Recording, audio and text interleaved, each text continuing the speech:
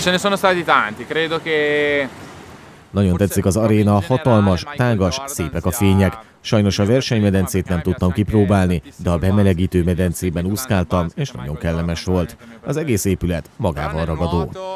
Riválisból rengeteg van. Egy világbajnoki döntőben mind a nyolc versenyző azért áll rajthoz, hogy valami nagyot alkosson és megpróbáljon nyerni. Ott van a kínai, a honfitársam Gabriele Detti, az ausztrál McHarton. Az amerikaiakat nem láttam még az idén, később lesz a kvalifikációs versenyük, de az biztos, nagyon sok kiváló úszó van. Egy kicsit valóban nem szeretem a hideg vizet. Nemrég egy kicsit valóban nem szeretem a hideg vizet. Nemrég részt vettem egy nyílt vízi versenyen, és mondhatom, a tenger elképesztően hideg. De nincs mit tenni, ehhez hozzá kell szokni. Azért a hideg víz a mai napig elborzaszt. Vékony vagyok, jobban fázom, átfut rajtam. Amúgy érdekes volt kipróbálni a nyílt vízi versenyt, nagyon más, mint medencében úszni. Egyszerűen szerettem volna látni, mennyire veszem fel a versenyt a többiekkel, és nagyon tetszett, élveztem. Elindulok még nyílt vízi versenyen máskor is. Az viszont biztos, hogy a világbajnokságon nem. Az idei évben mindenképpen a medencés úszásé az elsőbség. Talán hosszabb távon a... Az idei évben mindenképpen a medencés úszásé a prioritás.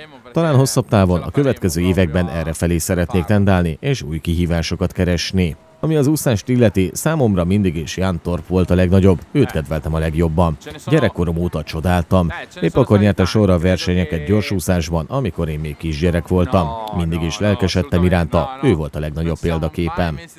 A mostani riválisommal Gabriele Dettivel együtt edzünk, ezer éve ismerjük egymást. Egyidősek vagyunk, nagyon sokat versenyeztünk együtt. A medencén kívül barátok vagyunk. Egyértelmű, hogy amikor versenyzünk, keményen küzdünk egymás ellen. Oly régóta megy már így, hogy hozzászoktunk. A rivalizálás nem okoz fennakadást a barátságunkban. Egy tipikus olasz vagyok. Ma már a parmezán az egyetlen, amit mindenhová viszek magammal, ha külföldre megyek. Mindig mást is, de kényelmetlen lenne. Nem tudnám elpakolni, cipelni. A parmezán viszont fix, mindig van nálam. Tésztát valahol biztosan találok, megeszem a rist is, akár fehér, akár barna. A szénhidrát tehát biztosított, majd jöhet utána egy kis parmezán, ebédre vagy vacsorára, és meg vagyok. Szóval a parmezán kötelező tartozék lesz Budapestre is.